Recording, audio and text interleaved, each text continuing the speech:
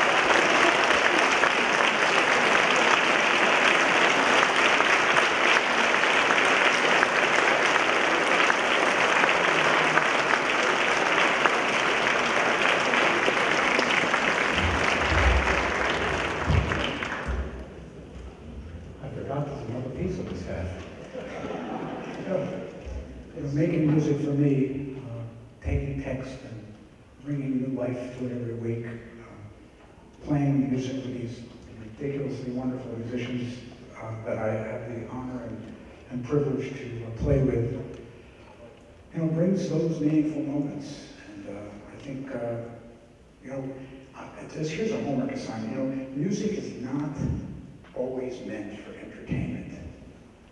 Because, you know, when Beethoven was uh, ill, as he was for most of his adult life, uh, there's a quartet, I believe in C sharp minor, that he writes. Uh, there's kind of a prayer movement, thanking God that he got through what he was um, uh, part of. And this is not entertainment. This is creating meaning. And you know, the composers that sometimes you, are not comfortable with at first uh, create meaning in, in, a new way because every, every person, every one of us is an individual and, uh, and totally different from any other individual. And that's what makes creation so very special, so very important, because it brings the real us out. Uh, let's uh, uh, invite Chidi back to the, uh, to the what do you call this, the, the stage, and for the Tchaikovsky a wonderful piece of Waltz Scherzo.